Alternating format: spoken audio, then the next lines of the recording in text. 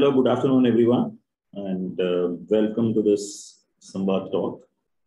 This is the third in the series of talks that we've been having on uh, the medical AI team. Today's speaker is Professor Rishikesh Narayanan from the Indian Institute of Science, Bangalore.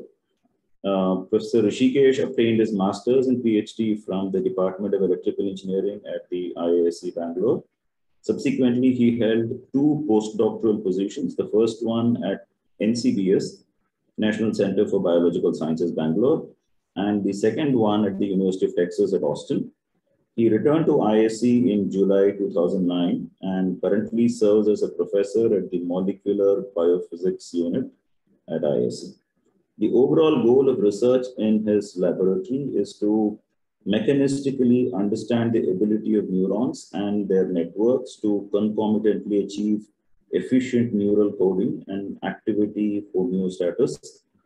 Specific topics of exploration include degeneracy in encoding neural systems, active dendritic physiology, neural coding and homeostasis, neuronal plasticity, and calcium signaling in neuron and glia. His laboratory employs a combination of experimental and computational techniques to address outstanding questions in the field of cellular neurophysiology. So, uh, thanks a lot, Professor Rishikesh, for accepting our invitation. Uh, uh, glad to have you here. Looking forward to the talk uh, by Professor Rishikesh on um, computation and plasticity in the brain. Actually, many of us, in uh, particularly in ML, are uh, used to thinking of neurons as these um, dumb, oversimplified units which do nothing but thresholding and somehow magic happens when you put them together in a neural network. Uh, looking forward to hearing a lot of insights about how real neurons in the brain actually work over to you, Professor Rishikesh. Thanks so much. Thank you so much for that kind uh, introduction. Uh, thank you all of you and thank you, Professor uh, Sinha for having me here. Uh, uh, this is my first time on this campus. Uh, and I'm glad that uh, the first in-person talk after COVID-19 started some 19th centuries ago. So, so um, I have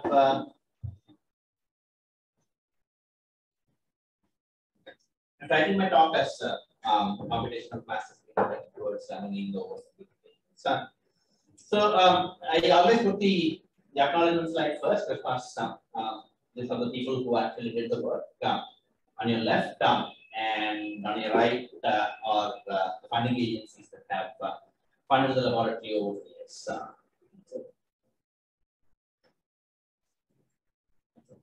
So these are the people who did the work. Uh, these are my lab people um, currently and those who have graduated and gone um, uh, to other places. Uh, and those are the people who actually did the work. Uh, and these are the funding agencies who have funded me uh, and the over the years. Uh, so thanks to them first. Without uh, the people who actually did the work or the funding agencies, the work that I'm going to talk about wouldn't have existed. So, so let's start. Um, from the beginning, uh, so uh, which is from uh, Ramon y Cajal, uh, who is considered as the, the father of modern uh, neuroscience. Uh, so this is the, the 18th century or the 19th century view of how neuron functions. So this is called as the law of dynamic polarization. Uh, so, so the idea is very simple. From today's perspective, we know that there are um, um, I mean, parts of the neuron which are called as dendrites. So these are the processes that receive information from other neurons, uh, other brain regions, and so on and so forth. Uh, and there's a cell body that receives information from these dendrites. Uh, and the idea is that uh, this cell body over here integrates information uh, from across different locations. Uh, and if that information, that the, the, the, the, voltage that comes in from across all these different neurons crosses a certain threshold, then you would elicit an action potential at what's called as the axonal initial segment, and that action potential will propagate uh, through this axon to reach to other neuronal dendrites that are present downstream. Okay, so that's the, the general idea of how a neuron works. Uh, so these, uh, so the, the polarization comes from the fact that you observe these, uh, the flow of information uh, is unidirectional. Right? So you don't have a scenario where uh, information from the cell body is going into the dendrites, uh, or you don't have information from the axon coming towards the cell body. So the, the flow of information is unidirectional. You always have uh, the dendrites receiving the inputs uh, and they propagating uh, the signal down the axonal tree uh, once the threshold is crossed. So that's the law of dynamic uh, polarization. Now, so there is unidirectional flow of information. So based upon this simplified uh, viewpoint of a neuron, now we made uh, a neuronal model to be the simplified structure where you have uh, So the uh, the dendrites, uh, there should also be axons from some other neuron. So they should they will be receiving. So if you um, uh, zoom in on the dendrites, you would have these uh, little uh, structures that are making contact onto these dendrites. Uh, oh, okay. And these are axons from other neurons, basically. And so, so you have axons from this neuron going and making contact to different dendrites uh, downstream. Uh, and here you have dendrites from and axonal terminals from other uh, neurons uh, coming and making contact with this particular structure. So what is the red thing there? The red thing is the cell body, and that is the reason why we have the, the threshold nonlinearity. Um, so the idea is that Oh, we so have this. the neuron, the- the red. The, the neuron is the whole thing actually. So this, Oh, this entire thing, the, the, the dendrite, the axon, uh, the soma or the cell body, um, the entire thing constitutes a single cell.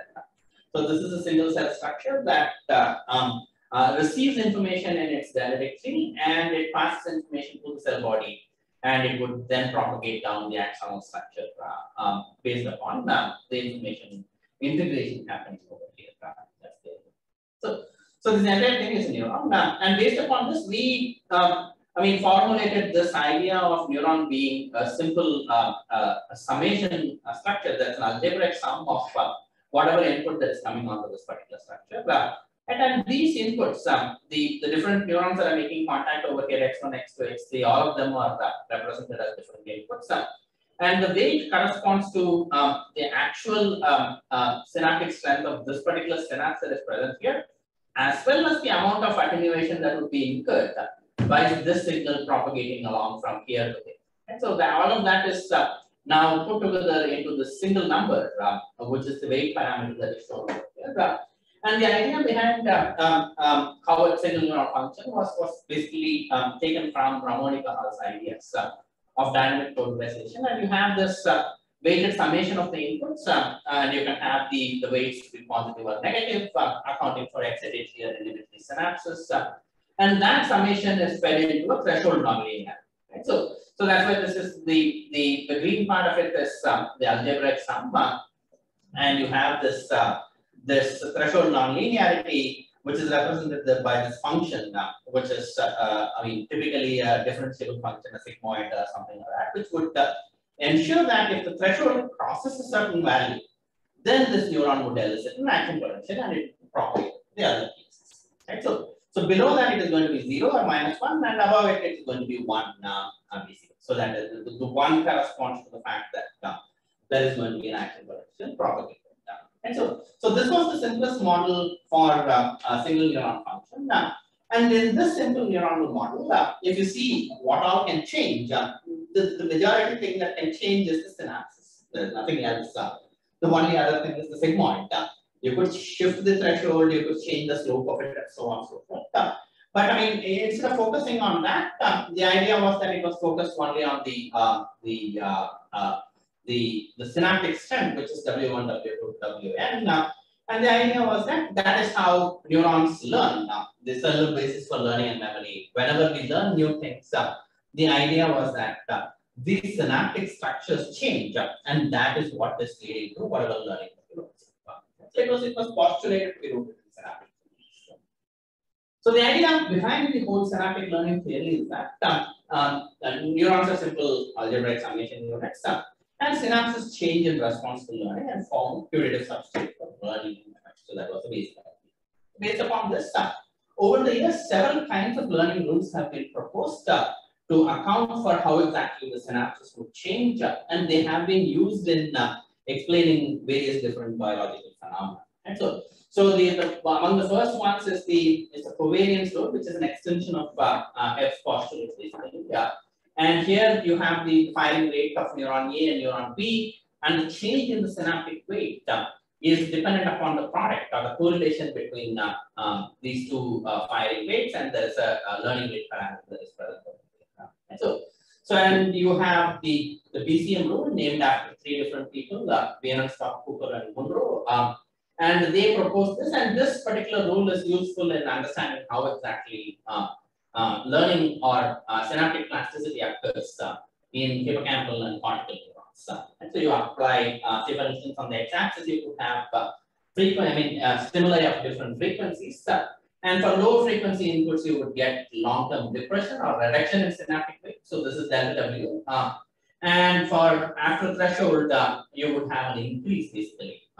So this was the BCM rule that was proposed. This has, I mean, this has been extremely helpful in uh, in understanding the uh, synaptic plasticity in hippocampus and cortex. So, so this is the self-organizing map, uh, and this is the, I mean, this is an example of uh, unsupervised learning structures. Uh, and this rule has been uh, uh, useful in, in understanding orientation selective columns in the cortex and direction selective columns in the cortex. so what are these? So if you look at this, this is a map of the cortical region and if you look at neurons in this particular pink region, let's say, you would have neurons that are responding to one particular orientation, say 0 degrees or 45 degrees. And I mean, yellow would mean um, 45, like if, if pink means 0, yellow would mean 45, um, um, yeah, I mean, blue would mean 90, and so on. So, you have uh, different colored selectivity, uh, um, neurons with different selectivities of orientations uh, are distributed along the cortical space uh, in such a fashion basically. And the, the coherence rule is uh, extremely helpful in understanding these kinds of things. So that's another rule. Uh, and you also have the, the spike timing dependent plasticity rule. Instead of uh, um, I mean, uh, ignoring the, the time at which action potentials are occurring, you actually take the time and into account and ask with reference to the, so you have two neurons, let's say, and there's a presynaptic neuron which fires an action potential first. Uh, and then there's a postsynaptic neuron which fires an action potential second. Uh, so if A follows B, then you would have a certain direction of synaptic change. Uh, and if on the other hand, it's other way around, you would have synaptic change on the other direction. Right? So, so this is um, um, a scenario where the, the pre comes first and the post comes later. Uh, therefore, you have increase in the synaptic strength. Here, on the other hand, this is reduced. So the idea is that you have so many different rules for uh, for synaptic plasticity that have been proposed over the years. Uh, and with, with these kinds of um, uh, rules, um, there have been several algorithms that have been uh, proposed for uh, um, learning in these kind of networks. You could have a completely feed-forward network uh, where there's a layered structure and you have hidden layers and information pro mean, uh, propagation occurs from the input layer uh, to the output layer, and you would have uh, learning algorithms um, which would uh, allow for adjusting these synaptic weights and uh, uh, allow you to learn certain aspects of the, the input that. You would have completely feed-forward structures, um, or you could have recurrent structures like this, like the Hopfield network. Um, and you could, uh, in all these scenarios, you are using simple neuronal structures like this. Right? So, so all these neurons are made up of uh, simple algebraic units followed by some kind of a threshold And it has been very useful. Uh, I mean, nobody can question the, the utility of uh, these networks and uh, their uh, um, their uh, functions or I mean, how exactly they are useful in day-to-day -day applications or even when, say, for instance, if we do behavioral experiments. Uh, and if we want to track certain behavioral uh, properties of rats, uh, there are packages available for, uh, uh, for that, which are based upon deep learning tools. Uh, and the rest of it is, uh, I mean, uh, urban level, uh, not urban, real levels. So you have these kinds of, uh, um, um, I mean, networks that have been useful uh, for various different purposes. Uh, so that is not going to be the focus of my So there is utility of it. Let's not discount it. Uh, um, so that is useful from the perspective of if you have a certain engineering application, uh, and if you're interested in uh, uh, executing that, uh, have a certain input output mapping to be executed. Uh, and if you have these quote unquote neuron-like structures with specific learning rules, that is capable of providing you with a network which will learn that input output mapping to as much efficacy as you want. That utility has been there. But so the, the, the, the goal of MindTalk is not to question that utility the utility of that is there from engineering application. Now, the goal of MindTalk is the, um, the, the question of whether the networks that we are building with these kinds of neurons, uh, are they really representative of uh, the actual neurons and networks that is present in real uh, brain systems? So because uh, the whole inspiration for artificial neural networks and even the nomenclature uh, comes from real neurons. So that's the, the, the cell. Uh, um, so the question is, is that cell um, really true? Um, if we study artificial neural networks, are we really studying the real brain? Now, is the kind of networks that we are building here and analyzing here, uh, are they really models of the brain? Does uh, uh, studying artificial neural networks uh, provide any kind of understanding about real brain?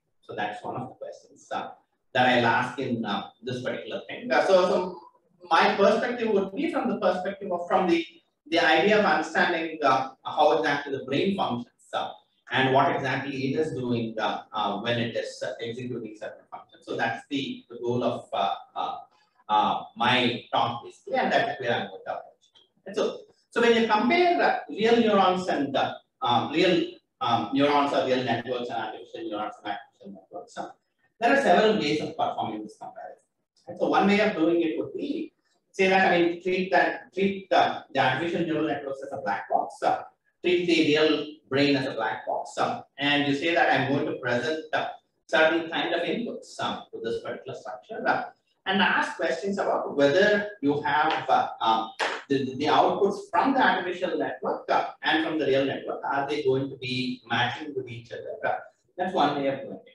Let's say, for instance, uh, the real brain has certain kind of illusions, the Thatcher illusion, for instance, if you invert the phase of Margaret Thatcher, and you have uh, the eyes also inverted. When the face is inverted, you don't see the fact that the, the eyes are inverted, but on the other hand, when it is uh, uh, rotated, uh, you realize that the, the eyes are inverted, less natural And you also have Weber's law. There are so many psychophysical laws that are present. Uh, and you can ask whether your deep neural networks uh, are obeying these laws. So you're still treating it as a black box. You're not going into the mechanisms behind how exactly the artificial neural network is implementing it and how the real brain is and so so here you could compare it and uh, um, mean, um, um, my friend S.P. Arun in Center for Neuroscience, uh, he asks questions from this person. He takes uh, deep networks, uh, he takes real neurons, uh, and asks questions about whether artificial neural networks do obey Weber's law. Uh, can you see Thatcher illusion in, uh, in uh, these kind of artificial neural networks? And as you would expect, the answer is kind of mixed. it. So depending upon which neural network you choose, they obey some of them, they don't obey another bunch of them. So, so you have different kinds of answers. Okay. So that's not my way of looking. My way of looking at it is, uh, um, I mean, what exactly goes into the, the real neural network uh, and what exactly goes into the artificial? What makes them? If I don't treat them as uh, black boxes, I'm interested in the mechanisms behind how exactly the real brain implements it. And whether that mechanism is being used by these kind of structures. So why is that essential? So I mean, this is an example. This is an example that Professor Shastri uh, in electrical engineering gave me like almost two, three decades ago. Um, so he he made this point of why it is important to uh, look at mechanistic basis of uh, of uh, the brain. And I mean, if you're interested in understanding the brain, you will have to ask if this kind of a uh, of an algorithm is implementable by the brain itself. So the example that he gave was uh, the distinction between an active laser scanner uh, for estimating the depth of different objects in this room uh, and how exactly the brain does it. So you might have built a system, the active laser scanner, which is capable of finding out what exactly the depth of each and every pixel in this room is, uh, but that doesn't give you a model of the brain. So if you treat it as a black box, uh, where this room is the input and the depth map is the output, uh, you have the active laser scanner also capable of doing what exactly you want. You also have the human brain capable of doing that. But the mechanisms behind those two are completely different. And so, so just by building a, a, a laser scanner, uh, you have not, you have gotten no information whatsoever about uh, how exactly the brain so, so therefore, the, the mechanistic basis becomes uh, important and that's the perspective that I'm going to look at. In this narrative, where, I mean, from that perspective, uh, and in this narrative where we are talking about uh, neurons as algebraic uh, summation units, uh, and uh, uh, they are capable of learning by synaptic learning, basically. Synaptic changes are the only things that are driving the learning. It turned out later that we were driven by multiple oversimplification. So why did it have to be later? Why not earlier? So the, the idea is that as, as techniques became available, for actually recording from these neural structures. So we started recording from places which we were unable to record earlier and therefore the assumptions that we made earlier uh, became false one by one as time progressed. But, but unfortunately the, the artificial neural network literature or the deep learning literature is still stuck in uh, um, that kind of neural uh, architecture with simple integrated uh, kind of so, uh, so the first oversimplification that I'm going to talk about uh, is uh, with reference to neurons being the, first, the, the, the very mean, basis of uh, how exactly neurons uh, function basically. Yeah. So it's, it's, it's with reference to the, the very fact that we treat neurons as algebraic summation units for the threshold nonlinearity. So, so the assumption here was that uh, the nonlinearity, which I will come to in a minute, resides only at the cell body and the rest of the neuron is just computing the, uh, an algebraic sum of whatever information that's coming into this particular cell. Uh, that was the idea. Right? So, so in reality, when people actually started recording from these structures, uh, it turned out that the nonlinearity is not just at the cell body, but it is expressed throughout the entire dendritic. Right? So, so to, for, for me to tell you what exactly this nonlinearity, I have to ask the question, what exactly is this nonlinearity? And it turns out it's the ability of this, this cell to generate action potential. So this is a recording from uh, a hippocampal pyramidal neuron. Now, and what you're doing is you are injecting a, a current of 250 ampere into the cell. So, and you are recording the voltage output. So you're injecting current and you're recording the voltage output of this particular. Now, and you see that as long as the, I mean, um, uh, when you're injecting this, you see that it, it charges up like an RC circuit. And as long as it reaches this threshold value, it is basically uh, kind of going up RC circuit. If it never crossed this, uh, it would have just gone and settled down at a, at a steady state value, and that would be the end. But here, what has happened is um, it has crossed this threshold value, uh, and then it elicits this action potential, typically a 100 millivolt signal uh, of one millisecond width. Uh, and then it, I mean, it, automatically comes back basically to wherever it was. Eventually, when you turn off this current, it will come back to resting membrane potential, which is around minus 65, minus 7. So this is the threshold nonlinearity that we are talking about. Yeah. And so, so until this point, it's like an integrator that is integrating information. So this is a pulse current. Uh, and therefore, you see this um, RC-like integration that is happening. On the other hand, if you have inputs that are synaptic in nature, that will be passed through an RC circuit. Uh, and that would, uh, I mean, eventually, if that crosses a certain threshold value, you would elicit an action potential. So that's the threshold, uh, or that's the nonlinearity that we are talking about.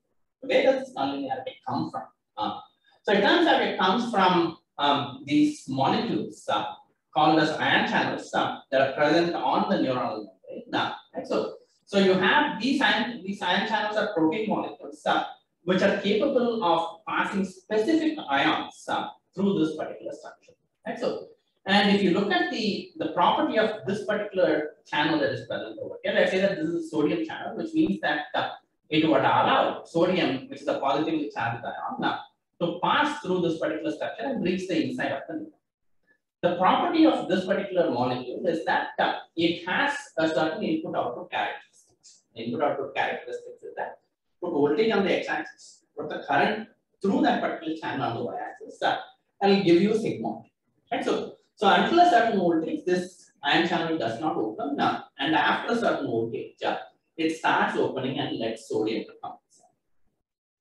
So that is what reflects us this nonlinearity over here. So this sigmoid is basically reflective of uh, the ion channel that is present over here, uh, which has a nonlinear IV relationship. The current voltage relationship uh, is basically nonlinear. Uh, and therefore, once the voltage crosses this particular threshold, which is around minus 50 in this case, uh, you see that the sodium channels open and let sodium inside, giving you this huge influx of sodium into the cell, and eventually potassium goes out and you have the action potential.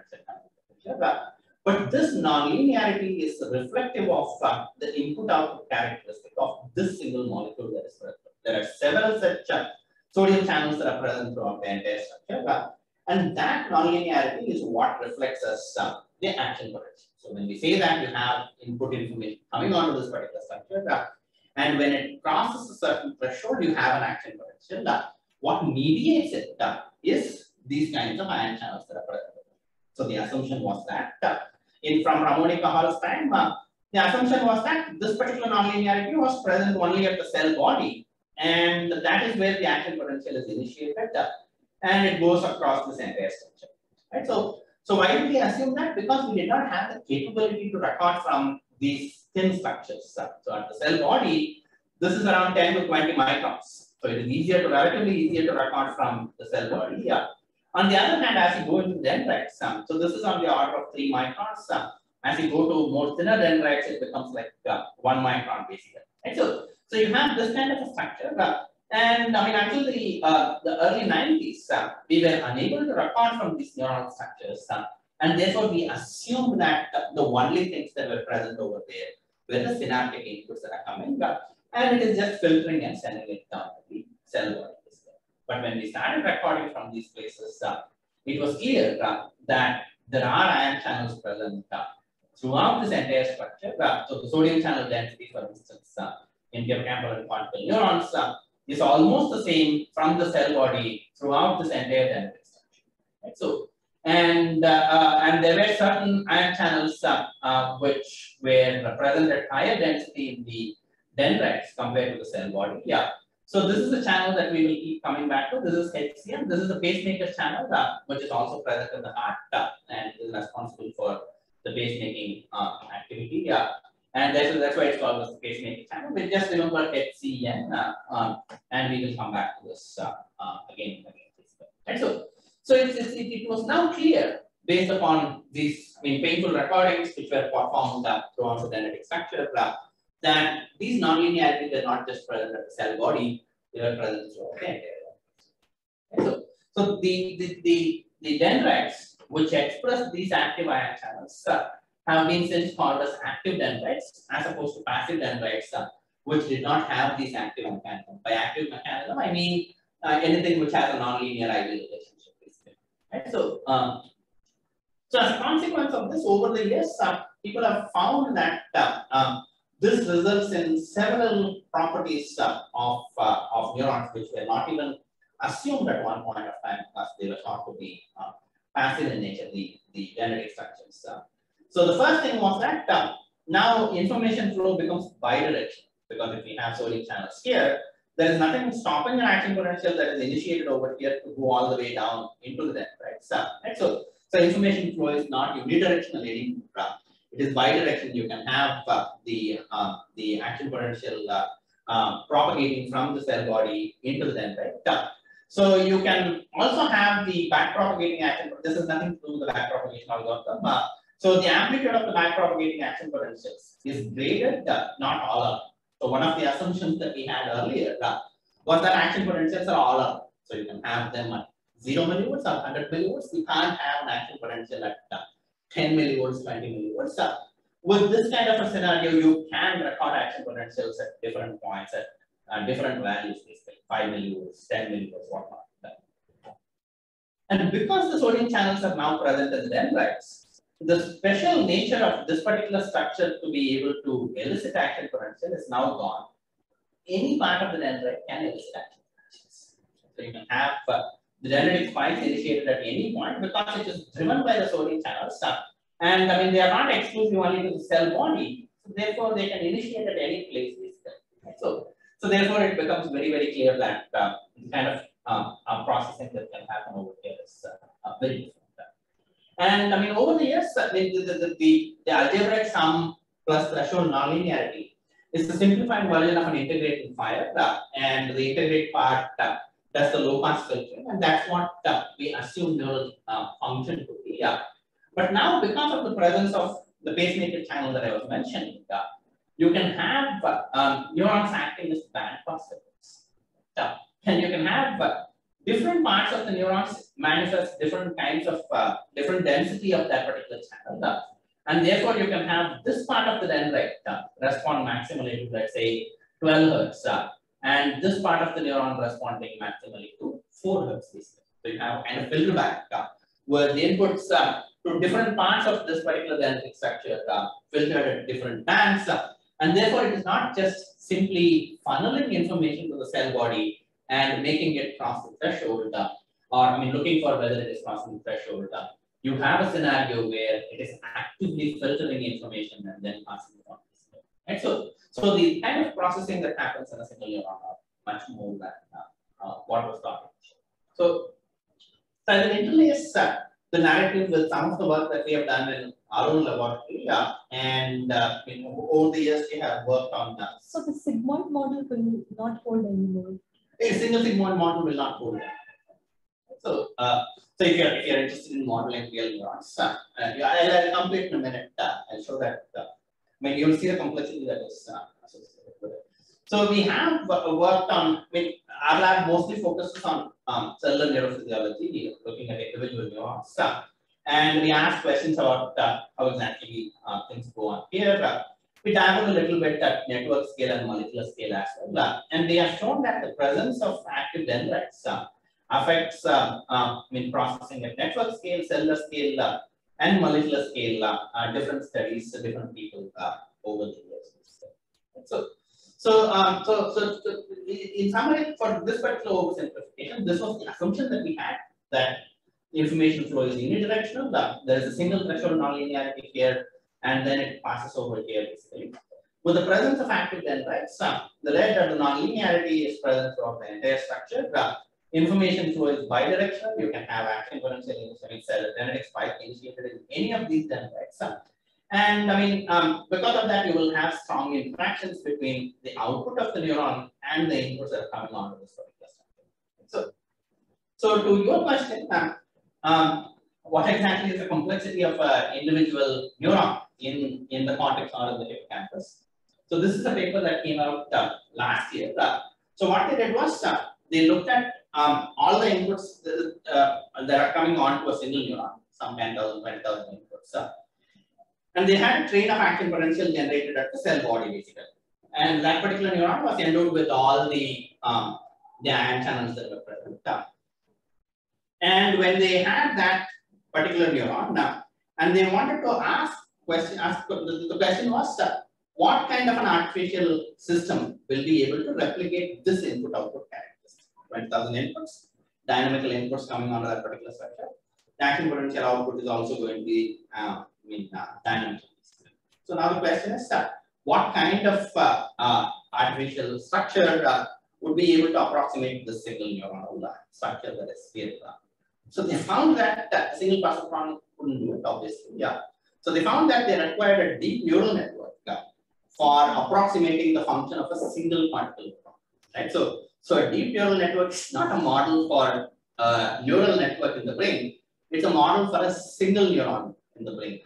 Right? So, so that's the kind of complexity that we are dealing with. Uh, and I mean, when they, um, um, I mean, if you had a simple passive structure like this, uh, then yes, this perceptron would have been ideal to model this kind of a structure. Uh, but uh, there are several lines of evidence, including the most recent one is this one, uh, which show that uh, the complexity of the processing power of a single neuron uh, is equivalent to a deep neural structure, uh, not necessarily a perceptron. So these are other review papers, uh, which if uh, I, I, mean, the slide is anyway here, I'll also send to Dylan uh, and you can get this.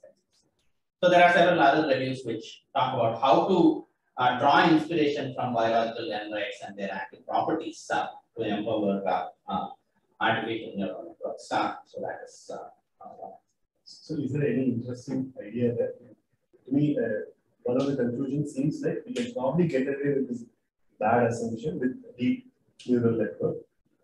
So maybe we can get away is what looks like the message.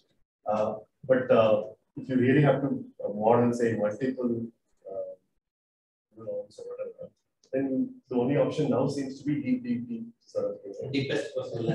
yes. So, I mean, is there any any other smarter way of uh, So I think people, uh, these papers will tell you uh, the different ways by which people are trying to incorporate these into real uh, uh, in neural network architecture stuff. And it seems like, I mean, this is just the first oversimplification that we are talking about. Uh, uh, we'll come back to this question uh, towards the end of it again if, uh, uh, uh, when we I mean, summarize all the oversimplifications. But the point that I want, I'm interested in making is that this assumption that, I mean, we can um, model a neuron or call this as a neuron is, is, is an extreme oversimplification. So, so when, when, when um, the artificial neural network literature thinks of uh, these neural networks as models for brain networks at different parts of the brain. Now, that seems to be not, that seems not to be the case because uh, even for modeling a single neuron, uh, you would require uh, an entire deep network. And uh, in the same group uh, as a article in bioRxiv or arXiv, where they presented the MNIST database to a single neuron, trained it basically, a single, single, um, this kind of a neuron basically and trained it and showed that uh, a single neuron is capable of performing the uh, classification. So, so the complexity is, uh, is much, much higher uh, than uh, what we thought it would be based upon assumptions which were made at a time when real recordings were not possible. So this is the early 90s. Uh, so this is the first oversimplification. Yeah. Spiking behavior. The spiking behavior can occur in the dendrites itself. so you can have dendritic spikes. Right? And you could also have uh, action potentials initiated here, which would go downstream. And it also turns out that the dendritic spikes and the back propagating action potentials that come in over here uh, can also release certain kind of molecules from the dendrites, uh, which can go and affect the other neurons that are present surrounding, uh, the. And so it's not, uh, this is not the only mode of communication, basically. Yeah, you have uh, uh, other modes of communication because of the spikes being generated there itself or because of the backdrop being this was referring to this, uh, we normally think of neural networks as continuous signals, right? But then the real neuron, uh, it's a, uh, it's a spike train. It's a spike train, yes. Right? So how does that make a difference in terms of?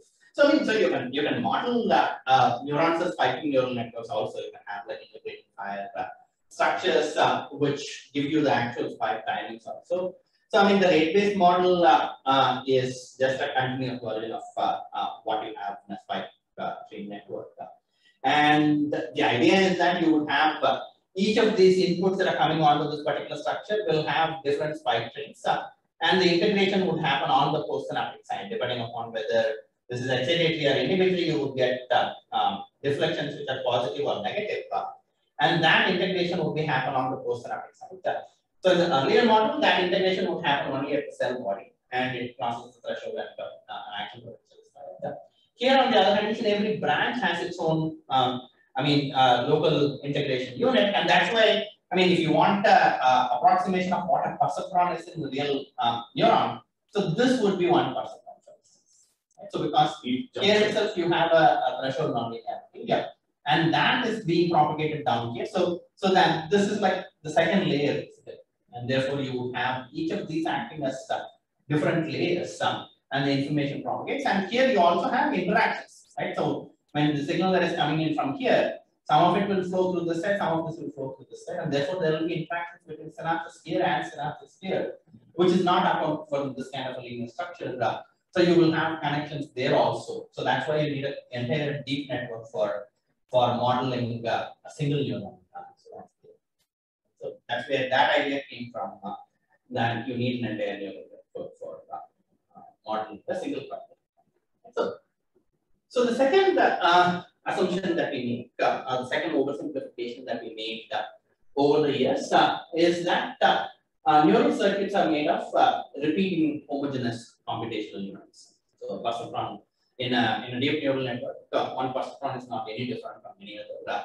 So they are all exactly the same, and the human brain was assumed to be performing some kind of uh, similar kind of structure. Uh, so where the, I mean, one, one, one neuron is replaceable by the other, uh, and they are exactly the same. There's no difference between them. Uh, in reality, if you look at it, uh, um, there are significant neural circuit heterogeneities that are manifested. Uh, I'll come to what these are in a minute. So there are different forms, and they have to be accounted for. I will also tell you why they should be accounted for, and why we can't simply ignore this. So, So these are examples. Uh, uh, that is not very clear, but uh, so you have uh, these are two different kinds of uh, uh, two different brain regions. Uh, dentate gyrus is one of them. Uh, CA1 is another. Uh, these are one kind of neuron. Uh, these are other kind of neurons. So this is more visible. You can see that these two neurons are very very different in terms of morphology. So so you have cell body here, uh, a dendritic structure which are much more organized here. Here on the other hand, you have fewer dendritic regions. Uh, so these are adjacent to each other in terms of brain regions. Uh, but you have uh, uh, them uh, having very distinct I mean, morphological structures. and even within the same type of neurons, you see that the organization can be very, very different. Right? So some of them have more branches, some of them have lesser branches. so you have very, very different kinds of morphology that is present over there. This will be structural uh, heterogeneity. Right? So, so even within a given structure, uh, given brain region, uh, the neurons have very, very different kinds of structures.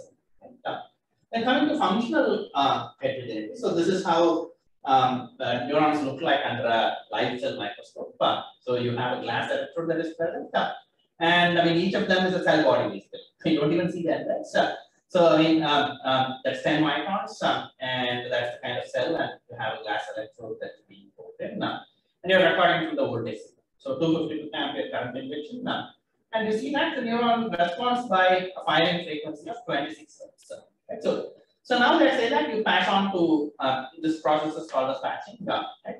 You pass on to another uh, neuron that is adjacent to this. Uh, you inject the same 250 ampere current injection, and now you expect that that is also going to fire 26 hertz uh, action potential. That will be the case. You would have something like this. Uh, some cells won't even fire. So this is for 250 picoampere, right? So some cells don't even fire action potentials for 250 picoampere. So some cells fire like the 40 hertz, uh, um, um, 40 action potentials within the same period. Uh, um, and on the other hand, certain others have like 50, 20, 26, uh, and so on. So this is functional. You have uh, even with the same synaptic inputs coming onto this particular structure, uh, the output is going to be very, very different across different neurons. So that's a functional heterogeneity. Yeah. So, so there are several such heterogeneities. Uh, so the structural is one part of it that I mentioned where neurons are either smaller or bigger, uh, you have intrinsic like what I showed you just now where uh, the firing properties are different, uh, firing rates are different. Uh, you can also have synaptic heterogeneity, right, where one synaptic strength is higher, another one is lower, and so on and so forth. So these are all local circuit heterogeneities. Uh, you also have heterogeneity in terms of what comes into this particular neural circuit. Right? So this is a scenario where there are inputs, uh, and I mean there are there is a network, uh, um, and all the neurons in this particular network uh, are getting exactly the same input, basically. Right? So there is no difference in terms of what kind of inputs are getting, coming into this particular. On the other hand, in reality, even though they are getting inputs from um, um, other brain regions, uh, each and every neuron will get very different inputs. So that is thing. So you may say, oh well, I mean, there is heterogeneity. Maybe this measurement error, why don't we just leave it, uh, take the average, put it there and be happy with it. Uh, turns out you can't do that uh, because these heterogeneities uh, seem to have real functions. So one of the uh, the postulated functions of the dentate gyrus uh, uh, is what is I mean, uh, called as pattern separation or decorrelation. So you have two similar patterns coming onto the particular structure, two different phases in this case. So the inputs are very similar, but the outputs are very dissimilar. So you are decorrelating uh, the inputs that are coming onto this particular structure. Right? So, so that is decorrelation, and this would be called a sub pattern decorrelation. So we are trying to decorrelate uh, the inputs that are coming onto that. It turns out uh, that if you have uh, uh, a homogeneous circuit, right? So similar to what I showed you here. so a homogeneous circuit receiving identical inputs like this, uh, right? Uh, the output uh, is, if you, if you come to correlation between uh, the, the, the output correlation basically across different neurons, uh, you see that they are close to one. There is no decorrelation whatsoever. Uh, but on the other hand, if you start introducing uh, one by one, intrinsic synaptic, uh, uh, structural and afferent heterogeneities, So you see that uh, you now, even though the inputs are identical to each other, uh, you now start having decorrelation in terms of what exactly the output is. And that is contributed by uh, the differences that these cells have in themselves. So you have different cells having different threshold values, different firing rate values. So and so on and so forth. And as a consequence of that, they respond differently. And as a consequence of that, uh, you would have a scenario where even though the inputs are similar, you would have decorrelation. Yeah. So, so the heterogeneities can play a role in, uh, in decorrelating the inputs. Uh, different kinds of heterogeneities can come to that. Uh, and you also have a scenario where if you have these heterogeneities, so this is the scenario, what is shown over here is that uh, you're perturbing the network with different kinds of perturbations. Uh, let's, not, let's not get into details of what exactly these are. And you're measuring the amount of change in the output uh, correlation basically. Right? So, so in the absence of structural heterogeneity, you see that the amount of perturbation is relatively large. Right? So you have uh, a scenario where it is going from say 100 percentage to minus 65 or something like that. Now, here on the other hand, when you have a network that is endowed with structural heterogeneity, uh, the amount of perturbation, the amount of uh, changes uh, that you obtain uh, with the same perturbations are much lesser compared to what so the presence of these uh, heterogeneities uh, enhance the functional resilience uh, of these uh, uh, neural circuits. Uh. so it's, it's, it's not something that you can simply ignore. So one question. Yeah. So suppose we think of a regular neural networks with several layers, and maybe the input layer, let's say neurons, it has it assumes certain type of input. Right? Whereas some other late, later layer will assume some other type of input? Its response will be different, these two neurons. Uh, is it something? Uh, that would be synaptic heterogeneity. Right? So, are you one particular synaptic heterogeneity or afferent heterogeneity or compound? These are synaptic heterogeneity mostly because you're talking about local circuit uh, in that particular circuit, what's happening. So, so that would be synaptic heterogeneity. On the other hand, you wouldn't have accounted for intrinsic heterogeneity. And uh, I mean, say for instance, if you have uh, scenarios, I mean, extreme uh, reductionism, if you think of uh, um, um, um, let's say the same integrated bias structure, let's say. Just as the nonlinearity is such that your threshold is now not fixed at one particular value, you have the sigmoid's uh, um, slope as well as the position, the half maximum point, uh, keep shifting towards left and right. Um, so that would be one way of accounting for intrinsic But as I said, uh, when you talk about intrinsic properties, you will also have to account for all the dynamic properties that I talked about in the previous uh, uh, oversimplification. So still I'm talking for bandpass filtering, have account for dynamic uh, account for uh, all the different things that are consequent to the active network. And all of them will show heterogeneity between neuron X and neuron Y. So that would be what intrinsic heterogeneity and structural heterogeneity, of course, would affect uh, how different synapses under the same neurons interact with each other. And so, so all that would uh, bring in additional layers of complexity uh, into how exactly this uh, uh, functions as well as in terms of uh, whether that is useful in performing their functions.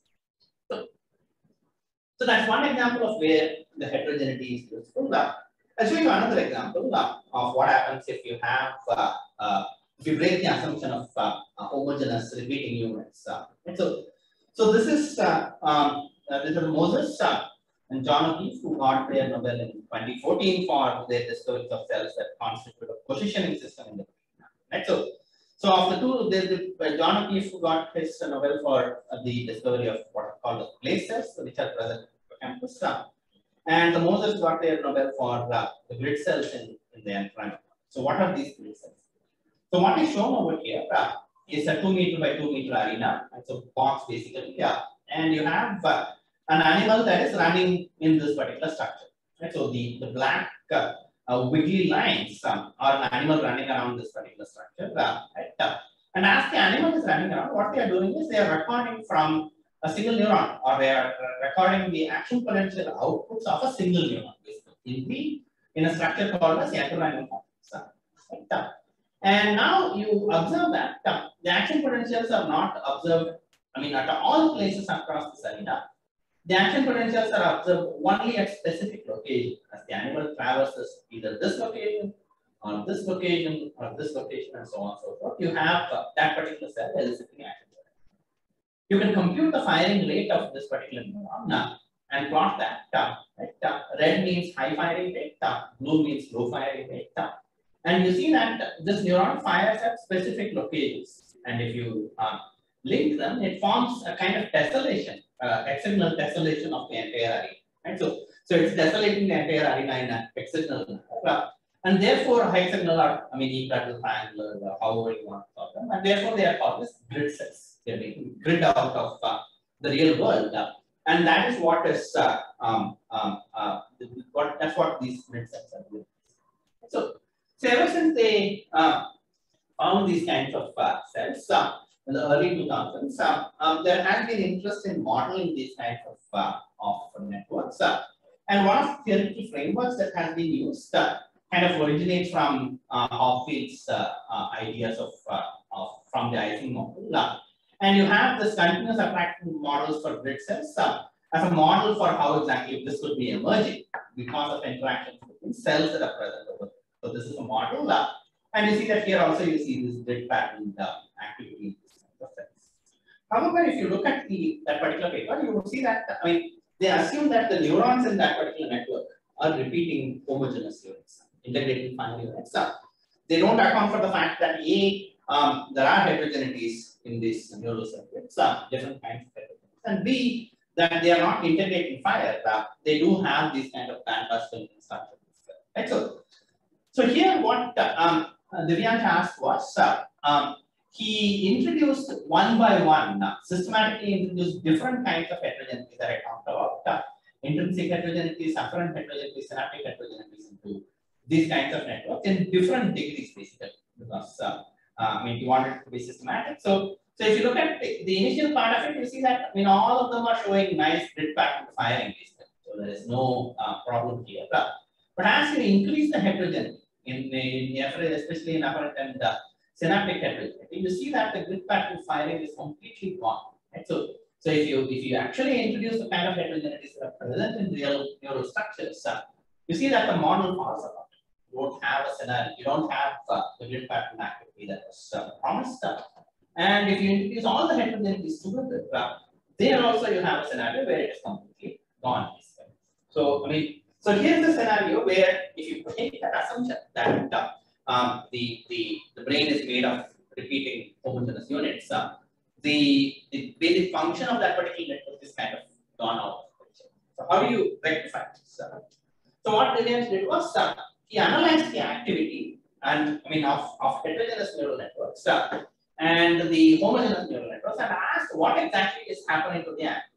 Right? So this is the power spectrum uh, uh, and the comparison of uh, where exactly the perturbations are uh, from the homogeneous structures uh, with reference to different degrees of intelligence. Right? So, so you observe that there is no perturbation whatsoever in the higher frequency. Most of the perturbations are in the lower frequency. So and the amount of heterogeneity, amount of uh, uh, uh, uh perturbation is basically increasing with increasing degree of heterogeneity. So, so he postulated that based upon these observations, he postulated that okay, if I find a mechanism to suppress the lower frequency activity, then I should be able to get back to grid pattern firing. Right? So, so the biological way of doing that uh, is to introduce uh, um, uh, in resonance into this particular circuit. As I said, uh, under, I mean, if you if you consider a neuron without these kind of pacemaker ion channels, it would be a low pass filter. Basically, it's a Lorentzian, uh, right? and you would have kind of uh, uh response uh, that would be uh, similar to one over f. Right? So, so now if you have an additional pacemaker channel like what I was mentioning, the HCN channel that I was mentioning, you would have the lower frequency suppressed as a consequence of their presence. so these channels act like inductors they are phenomenologically uh, acting as, and therefore, I mean, the RC is present naturally in the neuron. Now, now this provides the L, and therefore you get this RLC circuit eventually giving you this uh, uh, uh filtering properties. So he, he wanted to introduce this into the, rate-based models that he has. Going back to control systems, uh, because that's where everything started from. Uh, so, so he introduced this this um, resonance property into a neuron. So this was the integrated neuron that we started out with. Uh, right? Uh, what these neurons, what these ion channels do is that uh, they introduce the slow negative feedback loop. Uh, so this is a slow negative feedback loop uh, which comes back and integrates over here. And because they are slow, they will be able to suppress only lower frequencies and they will not be able to suppress the higher frequencies. Why don't they suppress? because they have negative feedback. And therefore, they will be able to suppress low frequency inputs, but not the higher frequency ones. And therefore you would get resonance. So this is the integrated neuron which gives you that uh, RC kind of a response. And here you are introducing this uh, additional uh, uh, negative feedback loop, uh, and that gives you this kind of a resonating structure. Right? And he also wanted to make sure that um, it was because of resonance and not because of the specific way he was using to introduce resonance. So what he did was he just introduced resonance in another way by introducing an artificial high pass filter uh, and getting artificial resonance out of this particular circuit. Uh, lo and behold, uh, um, if you had integrators, you saw that the grid pattern activity was gone. But now if you have resonator neurons, because you are now suppressing the lower frequency perturbations, uh, you see that uh, the, the grid pattern activity is intact, uh, even in the presence of these technologies. Uh, right? So, so if you account for all the biological features associated with it, uh, in terms of the bandpass structure, in terms of the heterogeneities that are present, still able to get it done. Um, and that's why it's important to make sure that all of them. So over the years, we have worked on uh, different aspects of uh, heterogeneities uh, and how exactly they contribute to um, neural function across different brain Our, our lab mostly works on the hippocampus and the entorhinal cortex. So over the years, we have uh, uh, I mean, looked at different uh, functions of heterogeneity. And from, from uh, I mean, an artificial learning perspective as well, this paper came out last year uh, uh from somebody else, uh, not us. Uh. so here, they what they did was they, um, I mean, introduced heterogeneities into an artificial neural network and showed that learning with heterogeneity was more stable and robust, particularly tasked with a rich temporal structure. And so it's important to um, ensure that the heterogeneities are accounted for uh, and not just ignored. Uh, um, I mean, neurons are not repeating homogeneous uh, uh units, and therefore it's important. Second, uh, the third oversimplification that we made, uh, um, because mostly of the fact that we assume neurons to be integrate-and-fire structures, is uh, the uh, the idea that learning is accomplished uh, exclusively through synaptic changes. In that simple model, we did not have anything else to change, and therefore we assumed that that is the only place that it could change. But in reality, plasticity is ubiquitous. Anything that you can record in, in from uh, from the biological system uh, is capable of change. So all the things that I talked about, the bandpass filter, the frequency at which it is filtered, that can change. Right? So the threshold of the action potential, that can change the backpropagating action potential, that can change. The ability of the dendrite to spike, uh, that can change. How much speed does the action potential propagate? Uh, that can also change because you can change the myelin uh, that is associated with it. So everything that is present in the biological system can undergo change. Synapses happen to be just one of those several. Right? So, so it's important to um, uh, keep that in mind. So, and it's not something which is new, unfortunately, um, because of, uh, I mean, uh, how uh, uh, the, the, history of neuroscience, if you will. Uh, it all started, uh, I mean, it's as though all of it started from from Hebb postulate and neurons that fire together, wire together, and those notions basically sent us down this rabbit hole without realizing that we are ignoring so many other things. And we did not even measure things. And even when things were measured and reported, that people just ignored and went with the first thing that they caught hold of and they assume that the other things will matter.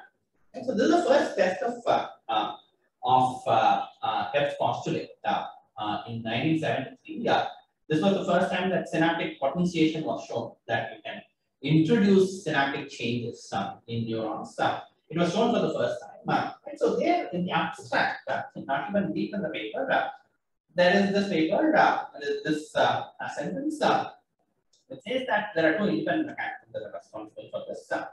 One is an increase in the efficiency of synaptic transmission at the perforant path synapses, which is what the literature went with, synaptic plasticity, synaptic plasticity, and only synaptic plasticity. And the second one is also reported here, an increase in the excitability of the granule cell population. What do I mean by excitability? It's the ability of granule cells to generate action potential. For the exact same inputs, if the neuron fires more number of action potential, then it becomes more excitable. If on the other hand, it fires lesser number of action potential, it will become less excitable. So here it was reported there, and we also, um, I mean, kind of speculated uh, that it could be mechanisms that control threshold uh, that could be changing as a consequence of that. This is way back in 1973, uh, and despite that, as I said, uh, people just took one of those uh, and followed that and said that, okay, synapses are the only things that change, uh, and that also needs to change. So this is uh, from our own review paper recently, yeah, where uh, um, um, we, uh, so this shows that, I mean, localized synaptic plasticity, of course, is one way of achieving learning, but that's not the only thing. You can have structural plasticity, you can have the structure of uh, the spines and the synapses changing. Uh, you can also have localized intrinsic properties uh, changing. Uh, right? So say for instance, the ability of this particular dendrite uh, to generate uh, dendritic spine, that can change, uh, right? Uh, and you can also have global changes uh, where uh, when the, the neuron that is more excitable becomes less excitable and vice versa. All of that can happen simultaneously. It's not like uh, there is only one of them that is changing. So, so you have all of them happening at the same time. So here we argue that uh, uh, you could achieve stable continuous learning uh, through, um, I mean, several of them coming together and changing at the same time, but it doesn't mean that they're changing randomly. Right? So if you take the, the space of all possible plasticities, of, of all possible components of the n-dimensional space, so this falls in a kind of manifold, a low dimensional manifold, where these things would fall, and therefore these are structured basically. So it can't be like, uh, oh, some random thing happens here, some other random thing happens here. They all are interconnected to each other, and that is what eventually leads to learning. So, so that's important to keep in mind. And uh, again, um, we have worked on these kinds of non-synaptic plasticity over the years uh, and showed that they do exist in uh, in uh, different parts of the hippocampus. Uh, uh, so that is good. And there are several review papers uh, on this as well, showing that plasticity should not be considered only uh, synaptic in nature. So, uh, and how do you know that space is a small dimensional manifold? so because you, have in specific neurons, uh, say for instance, if the synapses change towards a positive direction now, you will have uh, some of these, the, the channels can change uh, and you would have these channels changing in specific direction. How does that come about? Uh, so all of these are because of biochemical reactions. So once there is an activity pattern that is coming onto a structure due to whatever external stimulus that is coming on, now that goes and activates a biochemical signaling cascade. Right? So, so that biochemical signaling cascade has specific effects uh, on the synaptic uh, receptors, uh, on the ion channels, uh, on the different parts of the neurons. uh, and for a given neuron, it is fixed actually. So you can't have uh, the same signaling cascade reducing synaptic plasticity and increasing ion channel one. Now, you will have specific direction. If this goes up, this has to come down. So it is linked at the molecular level down. And that is what gives that low dimensional manifold. Right? So, so over the years, I mean, as you can see, the, the, the range of years is all over the place. Uh, but I'm sure you have not heard about, uh, heard about these, uh, these different uh, um, things that are changing in response to activity patterns. Uh, and that synaptic plasticity is not the only show in town. Uh, is not something which has not percolated into the uh, uh, uh, into the AI community. Um, but I mean, if this is the power of a neuron that you're dealing with, uh, and if the artificial neural network community is still stuck with the perceptron, uh, then I mean, there's so much loss basically. Right? So, so biology, I mean, as you can see, is way ahead. Uh, and kind of AI is still in the 80s, uh, trying to use the same backpropagation algorithm for uh, for uh, um, I mean adjusting synapses, where in reality the neuron itself is so complex, uh, and the learning rules can include various different things uh, beyond synapses. Uh, so I think it's time that the artificial neural network community kind of catches up. So, so then the um, the fourth oversimplification is something that uh, um, that uh, is uh, is it comes from kind of thinking of um, biology as uh, extensions of Newtonian dynamics. So, so simplified, uh, I mean, x leads to y, causality, one-to-one matrix. Uh, so v is equal to u plus at and nothing else. Uh, so I mean, it, it, it uh, not. I mean, I wouldn't say uh, extrapolation from physics uh, because I mean, a quantum physicist would look at biology and say that this is so instance. Right. So, so I wouldn't say that's why I'm saying I mean Newtonian dynamics and uh, that is where some of our thinking uh, comes from. And parsimony seems to be the solution. The simplest possible explanation is the one that helps you in understanding biology parsimony. Right? So, because the assumption that we make uh, is that there is only one solution. There is a unique solution to how exactly biological system uh, accomplish learning. Uh, and our goal is to find that solution. That seems to be our way of Fortunately or unfortunately, biological systems uh, express what is called as degeneracy across all states. So that's a new term that I'm introducing. Uh, so I have to explain to you what that is. Degeneracy has uh, nothing to do with uh, um, mathematical degeneracy of matrices or with uh, degenerates uh, or with degenerative disorders. Uh, it's a very fundamental biological concept. So um, this is Gerald Edelman, uh, uh, got his Nobel Prize in uh, Physiology and Medicine in 1972 for uh, chemical structure of antibodies. So immunology Nobel, uh, uh, like many other Nobel Prize winners, uh, he switched over to neuroscience after this Nobel Prize. Uh, I mean, uh, Gerald Edelman, Susumu Tonegawa, uh, Francis Crick, uh, Leon Cooper. Uh, there are several names basically who switched over to neuroscience uh, after their Nobel. Uh, and he wrote this uh, um, very, very influential review in 2001 uh, about degeneracy and complexity in biological systems. So that's the reason why he's here. Uh, right? So, so this is a very important review. And I, I mean, the strong recommend that everybody reads this. Uh, uh, only uh, six pages, uh, but it, it, it, it kind of changed the way I think about biology. Right? So it, it the way of thinking about biology as one-to-one mappings between uh, between neurons and behavior or uh, uh, there is a unique solution to achieving this and things like that. So, and uh, so as I said, degeneracy is a fundamental biological concept. Uh, so, so it's the ability of elements that are structurally different uh, to perform the same function or even the same one. So that's the, the key phrase here is structurally different. Uh, it's not redundancy because uh, redundancy would be where uh, uh, the same function is performed by identical elements. I mean, say for instance, if this stops working, I just remove the A batteries, uh, AAA batteries, uh, put another set of AAA batteries and it transfers. That is redundancy. On the other hand, I use a pen for pointing at this instead of this, that would be degeneracy. So I have structurally distinct elements uh, uh, capable of doing the same function. Now, so, and it involves structural different names, same or other functions depending on the functions. So here are some examples. Uh, um, so if you read through this, you will see that um, the examples span all the way from behavior. So this is uh, the behavioral end where you are talking about degeneracy in terms of inter-animal communication. There are large, sometimes nearly infinite number of ways to transmit the same message. A situation most obvious in language. So you can have uh, uh, different uh, things, behavioral repertoires, uh, and then this end of it, you have the genetic code, protein fold, and so on and so forth. So across biological system, degeneracy seems to be ubiquitous. So there is no one way of achieving it. And degeneracy did not necessarily mean uh, that only when one particular way of doing things, the other one comes into picture. Uh, you can have degeneracy manifesting in very different ways. Like uh, it could be like animal to animal variability. Animal one could perform the same task uh, by using uh, um, uh, a different set of structural components. animal two could be doing it very differently. I mean, say, I mean, you can uh, uh, uh, look at it from your own behavior. I mean, when you pick up something, for instance, uh, which part of the muscle that you use, uh, that itself is going to be very, very different uh, for picking up the same object.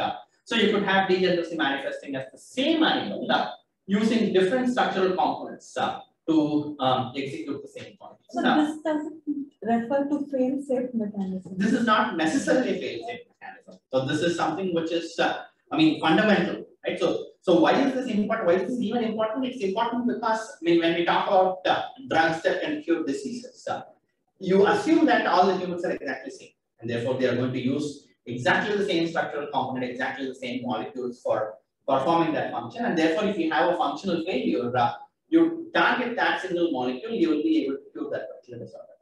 And it comes to the point where it, you realize that there is considerable structural I mean, heterogeneities in terms of how each and every human being is executing that particular function. And therefore, uh, if you block uh, um, a certain uh, ion channel, for instance, uh, then the function will be affected tremendously in one human being, and the function will not be, I mean, changed at all in another human being. Or even if you can look at it, you can look at it from um, ion channels and the single neuron function, the number of action potential cells. You have different kinds of ion channels. and you take out one ion channel basically in some animals or in some neurons, you will have huge impact of that. The action potential will go from 1 to 25, right? The other action potential, the other neuron will be firing at 1 and it will be still firing at 1 even if you take out the ion. On the other hand, some other ion channel would have a huge impact on that particular thing. Uh, so for bringing about the same function, which is eliciting the same number of action potentials, uh, the two neurons are using very different components basically. Right? So so it's, it's like, I mean, think of it as uh, an over-complete basis. Uh, so you have over-complete representation. It's a property of a complex system and the complex system here, uh, the definition is that uh, you have uh, a, a, bunch of subsystems that are present, uh, right? each of them are having their own functional specialization. There are several subsystems associated with this. you can I mean, think of is at different levels. You can think of a group of human beings, each one doing a certain function. Now, right, so that's a complex system, let's say. They all have their functional specialization now. And in an organization, let's say, when all of that comes together, you have a functional integration that is happening, which leads to the final functional outcome. But there's not one way of reaching this. In a complex system, you can achieve the same functional outcome. Let's say, I mean, uh, uh, uh, you, want to I mean, president is coming and you want to elect him or something, or you want to execute a certain project uh, that is part of this. So you can have different uh, faculty and different staff members of the institution executing the same project. In another scenario, you can have another set of people doing the same. So, so a complex system is one where you have functional specialization of the individuals, uh, and the functional integration can happen because of interactions between these functionally specialized subsystems. Uh, but there is not one way of achieving that functional integration you can have different ways of doing that. system. Right? So, so as I said, you can have the same system doing uh, um, different, the, the same function um, in uh, using different components at different instances, or you could have parallel pathways recruited for that particular function. So degeneracy can exhibit, it mean, um, exhibit in various different ways. And I mean, in your day-to-day -day life, uh, you will see that degeneracy is kind of everywhere. You just have to notice it much more closely and you will realize that uh, this is something that is ubiquitous uh, even uh, in our own data. So, so please read this paper. Uh, it, it, it kind of, uh, I mean, as I said, it changed the way of uh, how I think about biology, where uh, there's a one-to-one function, one-to-one relationship between this and that. functions are, I mean, you can always reduce it to the, the bare minimum. And so, so over here we have shown uh, in different components. so with reference to the function of individual neurons and how different ion channels contribute to it. Uh, so this is the place cell that I was talking about. Uh, right? So, so place cell as opposed to the grid cell uh, fires at only one location. Basically, right? So, and you can get this firing rate pattern with various different combinations of ion channels, neural structures, and so on and so forth. So this is also neural encoding of space, uh, but with reference to uh, phase. Uh, this is temporal coding, this is rate coding, uh, and you can get this also so you see that these five different uh, uh, uh, curves are very, very similar. These five different curves are very, very similar. But if you look at the properties and the parameters associated with what exactly led to this, they're very different. Right? So, so you don't see that in the functional outcome. So, and degeneracy should not be mistake, mistaken with that. Uh, oh, biology is imprecise. No, the function is precise. Function is exactly precise. But that precise function is achieved through various different structural components. And so, so you execute the function still, the, the, the executed function is still precise stuff, but there is not one way to achieve that. Uh, there are several different. As I said, you can think of it as an over-complete representation uh, where you can choose different basis vectors and construct the, the final vector from uh, different them with different coefficients. So, so it's over-complete system. So, so can we have an apology moment? I don't know what exactly ensemble wants. so if you tell me what ensemble wants, I'll tell you whether it can be. Uh, we could have, say, multiple models coming from different way of constructing them.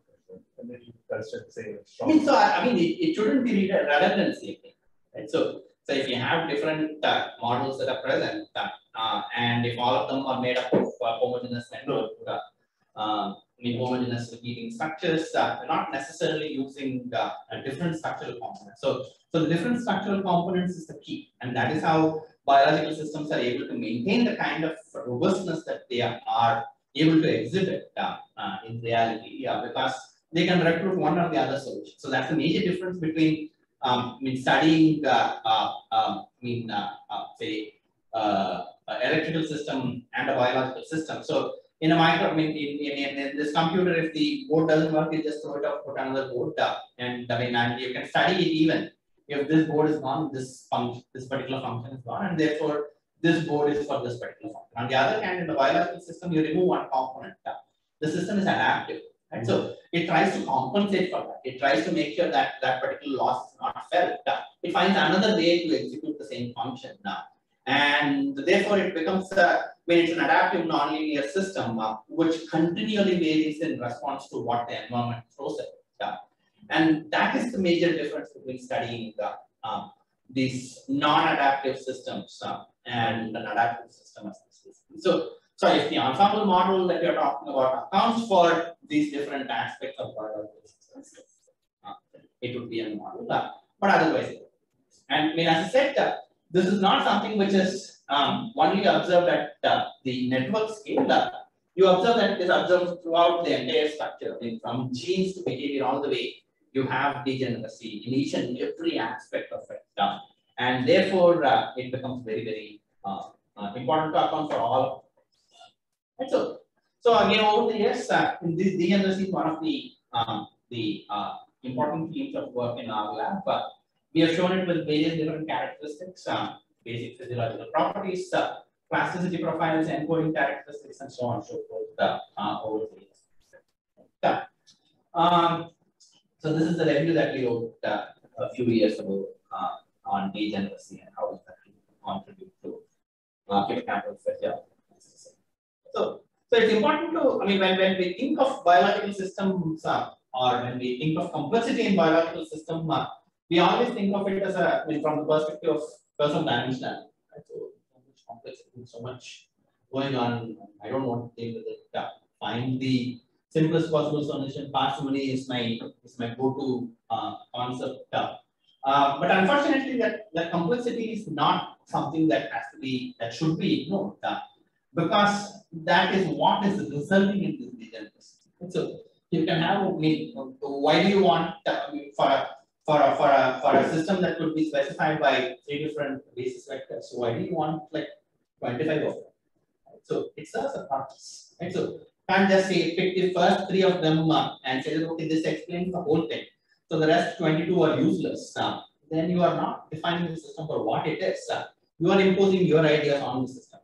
Right? So, so it's important to realize that degeneracy is not a problem. It is a, it's evolution's ingenious solution to achieving uh, uh, robust biological function. So, so that complexity has to be respected. Uh, that uh, should be accounted for. Uh, and it should be realized that biological systems thrive because of the complexity, not despite that. That's the reason why they are able to be as robust as possible.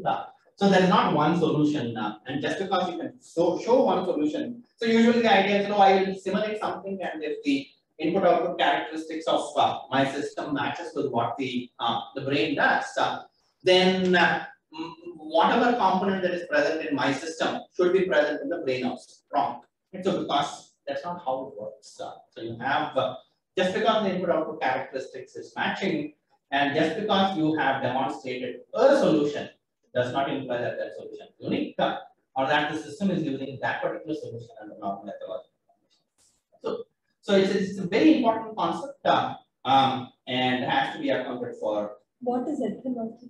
Ethology is uh, uh, under normal, I mean, when I say under ethological conditions, uh, under normal behavior. Say, for instance, you can catch hold of an animal and, uh, I mean, inject a certain current into its brain and see how exactly it responds. That's not ethology. Okay? So, in its natural environment, how exactly that, whether that particular solution is that the opposite of pathology. Pathology more like this is an uh, you just made it up. Made you just made it up. Real environment. Uh, Okay, so the final oversimplification that I want to talk about today are the other cell types that are present in the brain, other than neurons, which are what are called as the glial cells. Uh, so the name glia comes from the Greek word for glue, and the idea was, I mean, just like when people did not understand dendrites, um, they just assumed that they were funnels of information now and integrates information and passes it to the cell body. Yeah. At the time when glial cells were not understood, because these are tiny teeny cells, they're also a few microns in diameter. So, so at that time we did not have the uh, the kind of data to uh, assess them in a manner that is uh, uh understandable, and therefore uh, um, we assume that uh, they were just providing the substrate. So neurons are the ones that are processing information. These are just present there, gluing them to that position, making sure that they don't fall apart from the brain now and just stay there uh, and do the information process. So that's why the name came from this. But it turns out as the time progressed and uh, we, we started recording from these uh, cells as well, uh, it turned out that uh, glial cells are actively involved in, uh, in information processing uh, plasticity as well as learning. Uh, it's not something which is uh, just present there like a glue. Yeah. So, so how did this understanding come from? Again, we started recording. Right. So in, in the human brain, uh, neuron, neuronal and glial cells are one to one almost. Uh, different species have different kinds of proportions. Uh, right? So, and uh, now it's clear that uh, they're not just sitting there doing nothing. Uh, they actually communicate with neurons. Uh, communicate with them. Glial cells communicate with each other. Uh, so there is communication all over the place. Uh, so this is uh, Sufyan's work where he recorded from uh, glial cell astrocyte, uh, right, uh, which is present over here. So you see that these glial cells also kind of tessellate the, the space. Uh, uh, they have their own boundaries uh, and they don't interfere with somebody else's. Uh, uh, and they are present in this kind of uh, tessellated structure. And what Sufyan did was he um, uh, recorded from two cells. One was a neuron and another was a glial cell. And he activated the glial cell by injecting a certain molecule it. Uh, uh, and when he did that, uh, he saw that in the neuron, he started getting these huge responses. So before he activated the glial cells, they were all tiny, teeny, but after that, uh, he saw this uh, huge increase in this uh, potential, and these uh, these kind of activity patterns uh, are capable of uh, producing plasticity in these neural structures. So it's something that uh, um, that also produces dendritic spikes as he showed, uh, and they are also I mean, I mean, depend upon the different ion channels that are present in the right center. Right. So so based on this uh, uh, and several other things, uh, uh, Sufyan wrote this review talking about the, parallel literatures in in the dendritic field and the glial field. Uh, um, and how they have to be accounted for. And there are several other uh, recent reviews that talk about how um, these glial cells have to be accounted for in all sorts of analysis. And they are not just present there out of, uh, I mean, just for, just as a nutritive uh, uh, value or as a clue. So, so, um, so that's all I have for today. Um, so, in the first oversimplification that we talked about was uh, with reference to the perceptron itself. Uh, and we said that uh, neuron is a complex computational machine uh, with active dendrites sustained bidirectional flow of information. And if you want to, I mean, approximate the full glory of what a single neuron does, you need a full deep neural network for that. Um, and uh, um, the neurons are not uh, uh, repeating homogeneous units. they express several forms of heterogeneity and they serve important functions, it's important to account for those. Uh, can't just drop them and say that uh, I'll just take the average and move on with life. Uh, nothing will happen.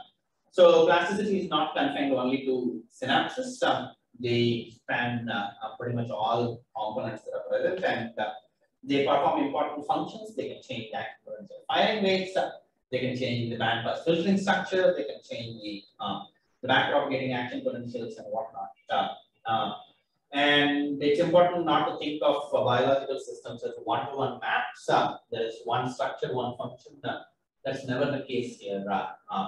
Uh, uh, uh, it's a many-to-many system, by which I mean there are many different subsystems that can execute the same function.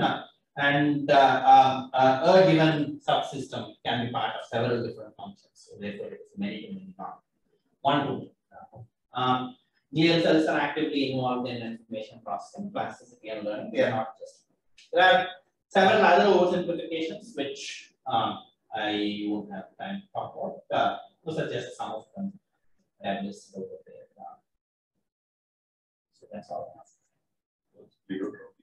Pleiotropy is kind of the opposite, I mean, a counterpart of degeneracy. Degeneracy is a scenario where uh, different structural components uh, elicit the same function. Uh, so pleiotropy is where one single component can execute multiple functions at different. So, so, so that's what. So that's all I have. Questions? Can the action potential for the cell uh, change with time? Yes, it can change in terms of the amplitude. uh, It can change in terms of the width. uh, It can change in terms of how much it goes below. So all aspects of an action potential are controlled by different ion I also had an impression that uh, an action potential stays more or less around 50 millivolts or something. And around 100 millivolts Uh, but uh, no, but that itself can change. Uh, The amplitude can change, yes. um, Um, it, it, it depends upon the specific kind of ion channels that are expressed in that. Uh, And the width also matters. So because the width determines, uh, um, I mean, so, so when the action potential reaches the, the synaptic location, uh, so there is a certain amount of calcium that comes into the presynaptic neuron now. And that calcium is what is releasing neurotransmitters into the um, synaptic cleft. uh, Right? So, so the width of the action potential would determine how much calcium comes inside. So it's the area under the curve. so there's no real difference between the graded potential and an action potential. You, can record grade, you're asking whether uh, action potentials can be graded. uh, Yeah, I think them as graded. Yes, I mean, so as I showed, uh, if you look at the backpropagating action potential amplitude, uh, they can be anywhere between uh, zero millivolts to hundred millivolts. uh, So there is no need for them to be uh, millivolt action uh, and even the dendritic spikes, uh, they can also be of variable amplitude, depending upon the kind of ion channels that are over there. uh. So the, the idea of potentials being all or none uh, still holds uh, as it propagates along the axon, where it is repeated, there are the nodes of Ranvier which keeps amplifying them uh, and eventually it reaches to the, the presynaptic terminal. Uh, but in many other places, you can get uh, uh, graded action potentials. So in this context, what is stochasticity and noise? Stochasticity in this context is uh, if you present the same stimulus uh, to a neuron or an animal, uh, it would respond very differently in each and every time.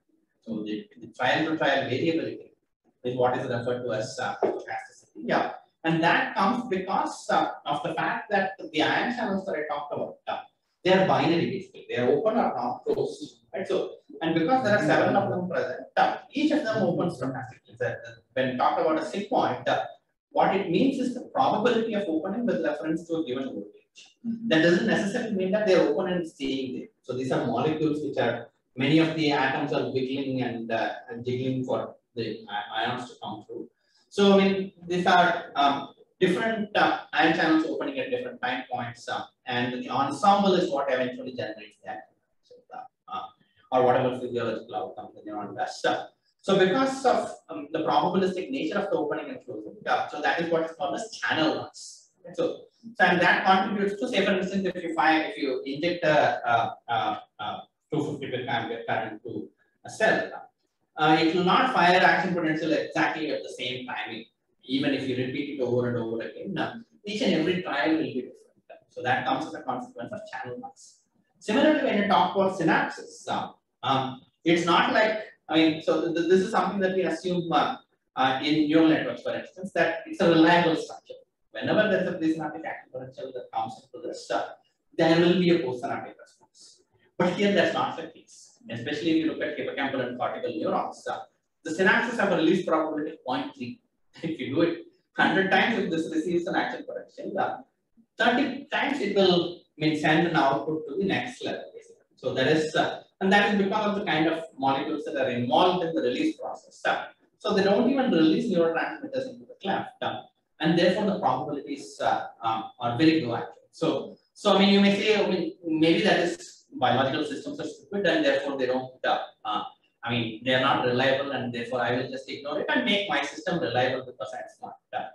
Turns out it's the other way around. The biological systems, the, the, the, the probability of release, uh, it uses it as a mechanism for generating synaptic filters. Uh, right? So So if you have action potentials coming at high frequency, there are one kind of synapses uh, which would let the lower frequency inputs to pass through much more effectively. There are another kind of synapses which would let, as a consequence of uh, this probability of release uh, and the stochasticity associated with it, uh, that would let, uh, um, if the first one was high frequency inputs go much more effectively, another one would be like low frequency inputs would go much more effectively. And there are even synapses which would allow active potentials at specific frequencies to allow action. Right? So, so that that is brought about by this uh, uh, release probability. And this is an additional layer of filtering other than what I talked about in, in dendrites, uh, where ion channels think about it. So this is simply a consequence of this. And therefore, it's not an LTI system, it's not linear time invariant. So you have, uh, you can't assume that, I mean, it's dependent upon history actually. So it's, uh, it's not even Markovian. Uh, so you have a memory um, that is uh, built upon several action potentials, and it keeps track of that, uh, and that is what eventually leads to what exactly the output is. Uh, so that assumption also is something which we implicitly make. Right? So we assume that it is LTI, we assume that there is no memory. Uh, all those assumptions have to go um, if uh, if you have to approximate what the neuron is. And as I said, they are not there because the biological systems are stupid evolution is like millions of millions, millions and millions of years old. We have been studying neuroscience for like decades. Uh, we have still a lot of time to catch up this thing. So, so I mean, it had it has had like millions of years of optimization uh, for arriving at this solution now, and therefore uh, it's important to respect that uh, and say that uh, I mean, show me what the hell you are looking. Why do you have this stochasticity? What is the use of this? stuff? I, instead of assuming that, oh, you're stupid, I don't want to study you, I mean, uh, I will make a smarter system which is much more reliable than out that your system is stupid, that system is smart. And so, because as I said, uh, that system has had millions of years, uh, just tiny glitches in uh, that scheme of things. Uh, so, so, I mean, as I said, it's, it's, it, the, the, the, biological system is where the real question uh, questions are there. Uh, um, and therefore that's more interesting. That's why I switched over to neuroscience.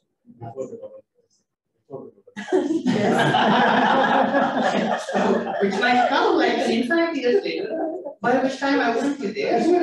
So I have a question. So uh, I have worked a little bit so on uh, um, connectomes and all of that, let's look at different regions of the brain. So the question I have is you had mentioned that you know it expresses degeneracy across all scales. So the scale means the spatial scale. Scales means uh, um, um, mean, when we talk about scales, we talk about I mean uh, biology research goes at different scales uh, like behavioral scale, uh, okay. system scale, neuron scale, molecular scale, the genetic scale.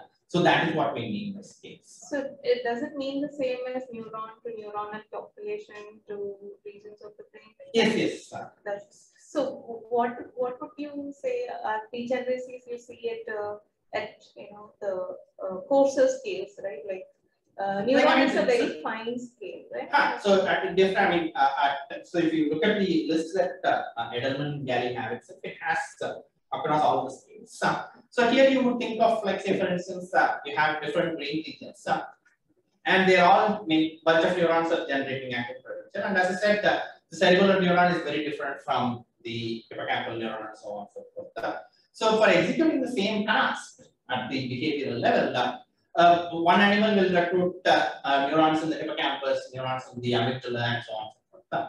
and for executing the same task, Another animal could be recruiting another set of neurons from different brain regions and executing the same. So, so that is where degeneracy is manifest in that kind of and you made the mention that degeneracy is different from redundancy. Uh, yes.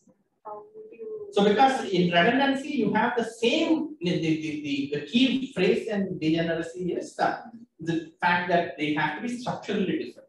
Right? So, so if you have like I mean, um, uh, you say, say, for instance, if you have a three-dimensional vector space and you have 1, 0, 0, 0, 1, 0, and 0, 0, 1, uh, you have like different copies of 1, 0, 0, and uh, 0, 1, 0, and if, if that fails for some vague reason, uh, you take the next one and fix it. On the other hand, if you have a over complete representation, uh, you don't have to rely on the same set of three or four or whatever number that you're using. Uh, you can use all 22 with different coefficients. Uh, the coefficients will be different across different implementations. Uh, so that would be the difference. So redundancy is very simple. I mean, as I said, the, the AAA battery would be an example of, uh, of uh, redundancy. Or, I mean, I could be giving this talk sitting in IISc across, I mean, talking to my Mac, uh, or here I come and talk to real people and do the same talk. Uh, um, or, I mean, I use uh, a laser pointer versus my pen. Uh, so different structural components execute the same function. That's the difference.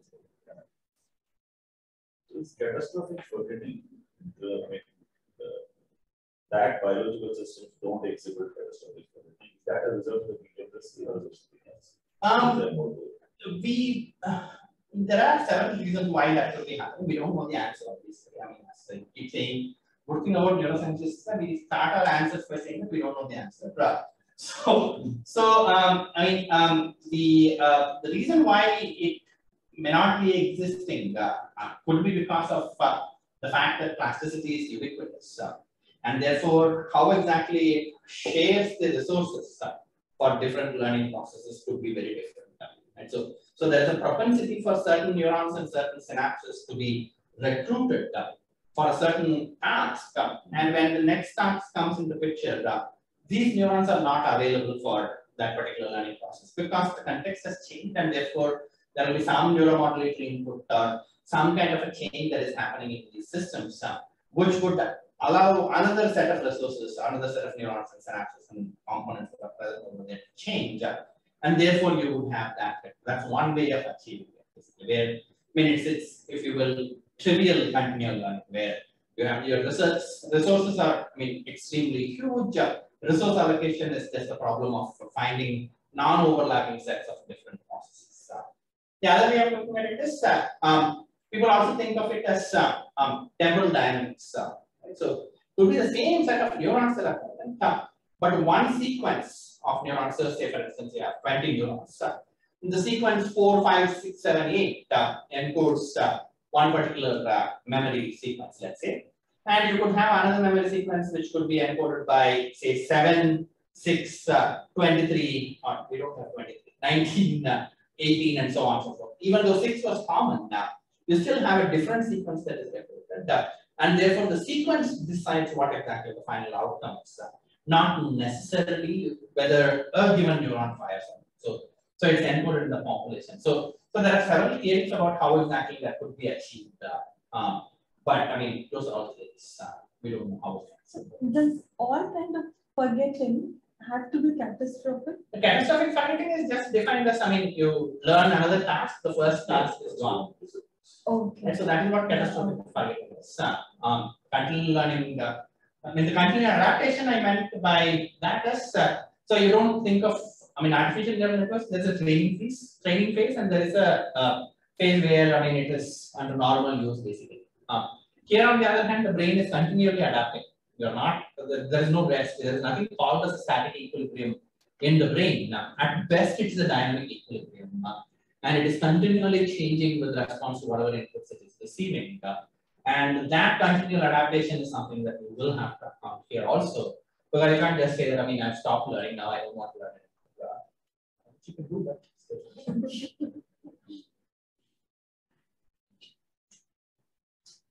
For those who are online, if there are any questions, please put them on chat.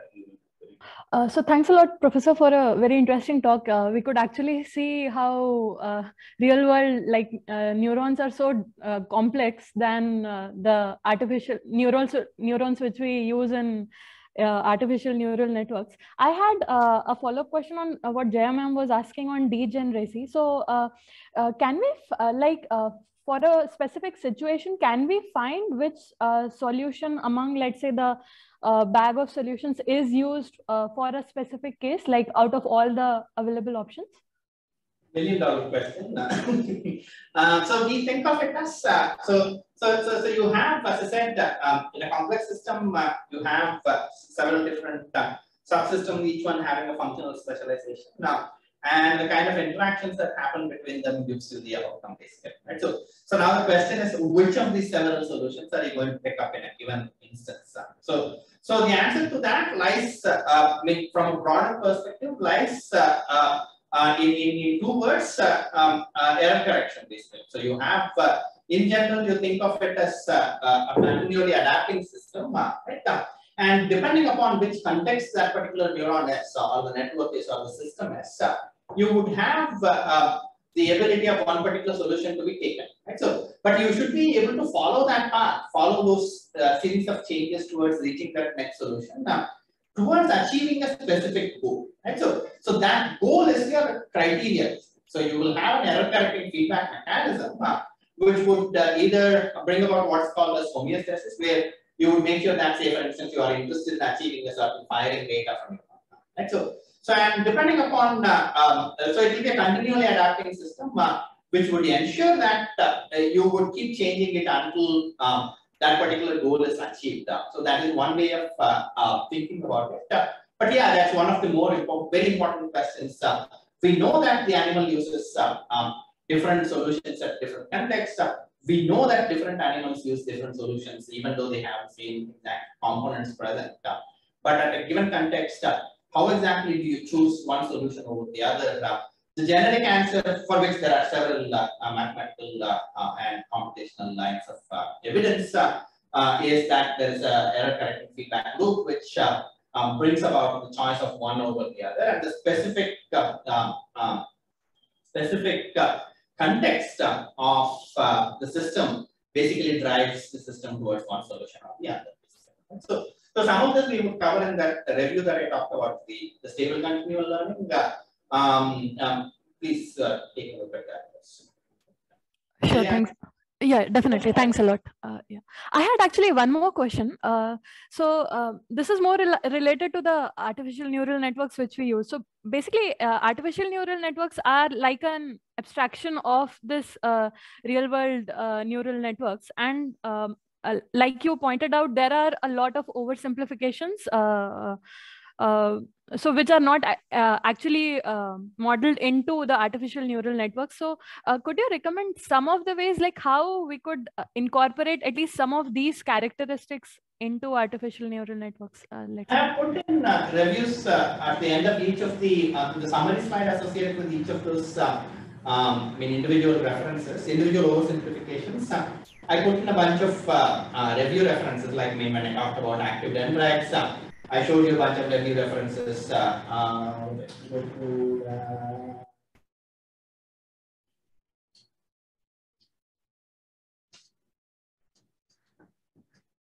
so for here, here, for instance, so you have this review that came up recently, which talks about drawing inspiration from biological dendrites.